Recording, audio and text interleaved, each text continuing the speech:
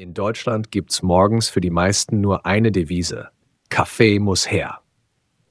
Rund 72 Prozent der Deutschen starten ihren Tag mit einer Tasse. Und Kaffee ist bei uns nicht einfach ein Getränk, sondern ein Kulturgut. Jährlich schlürfen wir stolze 450 Tassen pro Person.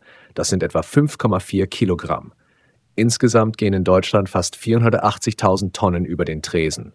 Vier Tassen am Tag sind der Durchschnitt und Kaffee schlägt dabei sowohl Mineralwasser als auch Bier haushoch. Trotzdem belegen wir nur den achten Platz in Europa, während Luxemburg, die Niederlande und Skandinavien ganz vorne liegen. Was macht Kaffee so unwiderstehlich? Klar, Geschmack und Geruch spielen eine Rolle, aber das Ganze hat auch was Emotionales. Für viele ist der erste Kaffee des Tages ein heiliger Moment der Ruhe. Die Bohne selbst hat eine faszinierende Reise hinter sich. Ähm, sie kommt ursprünglich aus der äthiopischen Region Kaffa und von dort schaffte sie es im 14. Jahrhundert nach Arabien, im 16. Jahrhundert ins Osmanische Reich und schließlich im 17. Jahrhundert nach Europa. Zunächst war Kaffee in edlen Gesellschaften beliebt, doch bald wurde daraus ein Volksgetränk. Die Europäer bauten Kaffee später in ihren Kolonien an, von der Karibik bis nach Südamerika. Wichtig, Kaffee ist nicht gleich Kaffee. Es gibt über 90 Arten, aber die Stars sind Arabica und Robusta. Arabica ist die Königin der Kaffeebohnen, besonders reich an Aromen, die je nach Anbaugebiet variieren. Dann gibt es natürlich auch noch viele Sorten, die sich durch Anbau, Verarbeitung und Röstung unterscheiden und dadurch ein buntes Spektrum an Geschmäckern bieten. Was die Zubereitung betrifft, haben wir die Qual, ob Filterkaffee, Espresso, Cappuccino oder Latte Macchiato. Für jeden ist etwas dabei. Der Mokka zum Beispiel enthält doppelt so viel Koffein wie Espresso. 65 Milligramm pro 25 Milliliter im Vergleich zu 30 Milligramm. Interessant ist auch der Gesundheitsfaktor. Studien, unter anderem der Harvard Medical School, haben ergeben, dass Filterkaffee am besten verträglich ist, da schädliche Stoffe gefiltert werden.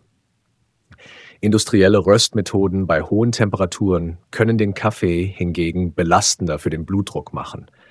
Trommelröstungen bei niedriger Temperatur sind daher eine schonendere und aromatischere Alternative. Der Geschmack des Kaffees hängt von vielen Faktoren ab, wie der Art der Bohne, den Aromen, die sich im Anbau entwickeln und den Anbaubedingungen.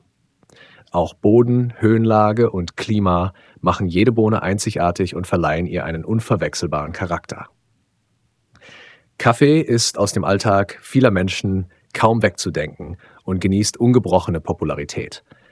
Der Geschmack einer Kaffeebohne ist jedoch alles andere als simpel. Er entsteht durch einen komplexen Prozess, bei dem die Röstung entscheidend ins Spiel kommt. Die sogenannte Maillard-Reaktion, die beim Erhitzen der Bohne stattfindet, lässt markante Aromen, aber auch Bitterstoffe und Säuren entstehen. Interessanterweise entwickeln sich die Aromen in der Anfangsphase der Röstung besonders intensiv, bevor sie bei längerem Rösten wieder nachlassen. So ergibt sich ein geschmackliches Gleichgewicht, das Kaffeekenner zu schätzen wissen. Von blumig und fruchtig bis zu schokoladig und nussig. Für jeden Gaumen ist etwas dabei. Doch Kaffee ist mehr als nur ein Genussmittel. Er steckt voller wertvoller Inhaltsstoffe wie Magnesium, Kalium und Vitamin B3. Sekundäre Pflanzenstoffe, darunter Polyphenole und Alkaloide, wirken als Antioxidantien, die freie Radikale in Schach halten, jene Freiheitsliebenden, die Zellen angreifen und als Mitverursacher von Krankheiten wie Krebs und Herz-Kreislauf-Problemen gelten. Zudem gibt es immer mehr Hinweise darauf, dass Kaffee den Zucker- und Fettstoffwechsel sowie die Darmgesundheit positiv beeinflusst. Damit nicht genug, durch die Anregung des gesamten Stoffwechsels könnte er sogar beim Abnehmen eine helfende Rolle spielen. Moderne Forschung hat nun ein spezielles Protein namens mTOR ins Visier genommen. Dieses Molekül beeinflusst, wie schnell unsere Zellen altern. Wenn mTOR aktiv ist, läuft der Alterungsprozess quasi auf Hochtouren. Aber Kaffee könnte hier bremsen, indem er mTOR abschaltet und somit einen verjüngenden Effekt erzielt. Das macht Kaffee in gesundheitlicher Hinsicht faszinierend, wenngleich mit ein paar Vorbehalten. Denn der wichtigste Inhaltsstoff, das Koffein, ist kein Leichtgewicht. Es ist eine psychoaktive Substanz, die auf den Kopf und den Körper wirkt. Kaffee und Koffein zeigen erstaunliche Effekte auf unseren Körper, die durch chemische Reaktionen im Nervensystem ausgelöst werden. Koffein kickt Stresshormone wie Cortisol und Adrenalin an und zack, Herzschlag und Blutdruck ziehen an, während die Nieren ein bisschen extra Einsatz zeigen. Die Vorstellung, Kaffee entwässert, hält sich zwar hartnäckig, aber die Wissenschaft beruhigt. Beim moderaten Konsum bleibt man gut hydriert. Ein spannender Aspekt ist das Molekül Adenosin, das uns im Laufe des Tages in die Müdigkeit treibt. Koffein blockiert jedoch diese Rezeptoren und trickst unser Gehirn aus, sodass wir uns wach fühlen, aber nur für begrenzte Zeit. Etwa drei bis fünf Stunden später ist die Hälfte des Koffeins abgebaut, wobei der Abbau je nach Stoffwechsel schwankt. Während einige nach einem Espresso am Nachmittag noch ruhig schlafen, werden andere bis spät nachts wachgehalten. Ein Gen namens ADORA2AA entscheidet mit, wie sensibel wir auf Koffein reagieren. Manche brauch, brauchen schon am Nachmittag die Koffeinbremse für einen ruhigen Schlaf, andere können auch spät noch genüsslich einen Kaffee trinken. Langfristig gewöhnt sich der Körper jedoch daran und regelmäßige Kaffeetrinker brauchen nach einer Weile eine stärkere Dosis für den gleichen Wachkick. Bei vier bis fünf Tassen pro Tag ist der Grundpegel an Konzentration in der Regel stabil. Doch Vorsicht, ein anhaltendes Schlafdefizit lässt sich damit nicht dauerhaft ausgleichen. Kaffee hat nicht nur Koffein im Gepäck, sondern auch Antioxidantien wie Polyphenole, die Zellen schützen und entzündungshemmend wirken können. Dies könnte helfen, Risiken für Herz-Kreislauf-Erkrankungen oder Krebs zu senken. Aber Menschen mit hohem Blutdruck sollten aufpassen, denn Koffein kann diesen noch weiter steigern. Aktuelle Studien zeigen außerdem, dass Kaffee die Aktivität des Proteins äh, mTOR beeinflusst, welches den Zellalterungsprozess wie ein Schalter reguliert. Aktiviert beschleunigt es das Altern, doch Kaffee scheint diesen Schalter zeitweise umzulegen, was die Zellen jung hält. Also ein potenzieller Anti-Aging-Effekt, wenn auch mit einer Prise Vorsicht zu genießen. Kaffee gehört für viele fest zum täglichen Ritual, doch die Auswirkung von Koffein auf unseren Schlaf wird oft unterschätzt.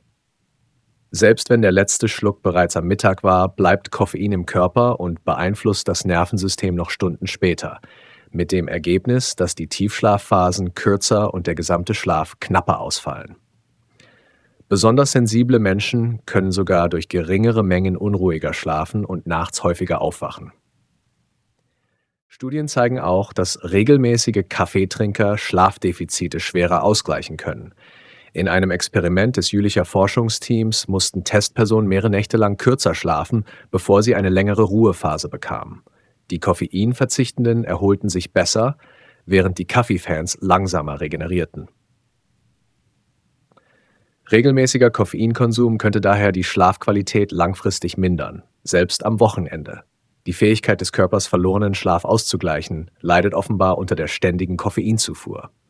Hieraus lassen sich fünf Empfehlungen für den Kaffeealltag ableiten.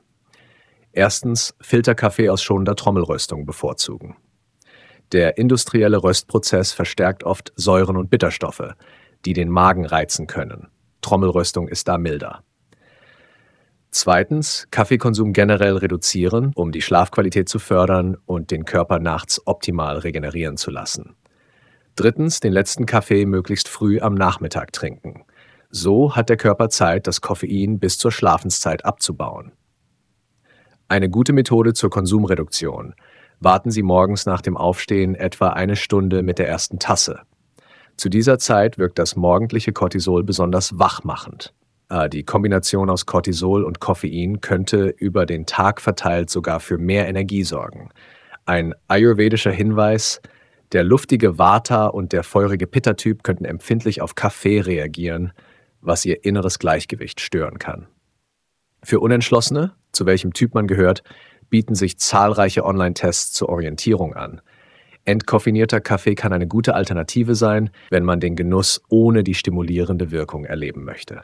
Doch entkoffinierte Sorten können chemische Rückstände enthalten, die aus dem Entkoffinierungsprozess stammen. Darauf werde ich in einem separaten Beitrag eingehen. Wenn Sie andere Kaffeefans kennen, die diese Infos brauchen könnten, leiten Sie sie gerne weiter. Denn auch wenn Kaffee das Leben schöner macht, ist es wichtig, die möglichen Nebenwirkungen zu kennen und bewusst zu genießen.